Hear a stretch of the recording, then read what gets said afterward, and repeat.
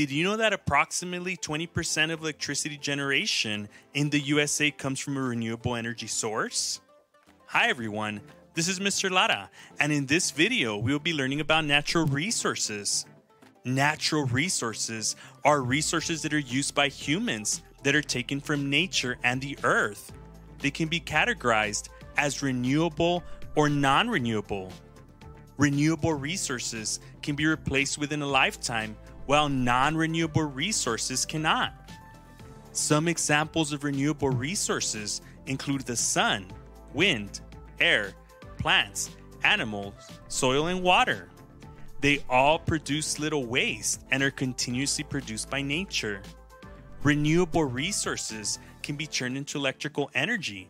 They produce low emission levels, less pollution, and have little impact on the environment. Solar panels, wind turbines, hydropower dams, and geothermal power plants are all ways of converting renewable resources to electrical energy.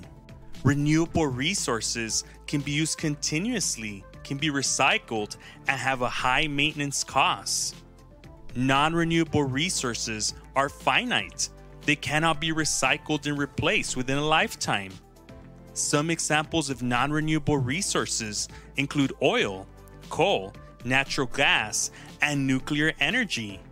Non renewable resources cannot be replenished within a lifetime.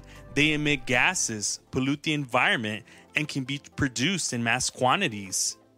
Non renewable resources have a low maintenance cost. Let's review what we learned. Renewable resources can be recycled, turned into electrical energy, produce less pollution, and have a high maintenance cost. Some examples of renewable resources include the sun, wind, air, plants, animals, soil, and water. Non renewable resources cannot be recycled, they pollute the environment and have a low maintenance cost. Some examples of non renewable resources include oil, coal, natural gas, and nuclear energy.